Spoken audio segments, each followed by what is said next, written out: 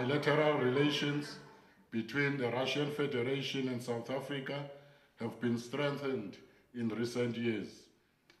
The events of the Second World War, and more specifically the Russian Arctic convoy, are depicted in this new display here at our museum.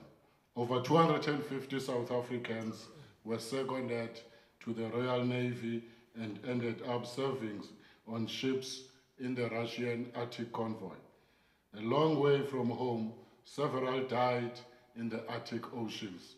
The cooperation between the ambassador of the Russian Federation and South African Navy Museum to mount this new display here is therefore a continuation and affirmation of our good relationship.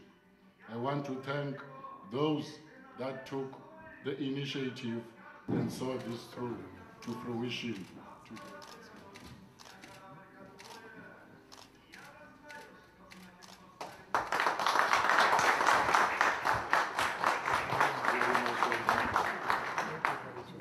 Distinguished guests, dear friends, uh, I am honored to be here at this ceremony and I would like to express our gratitude to the museum for this uh, opportunity.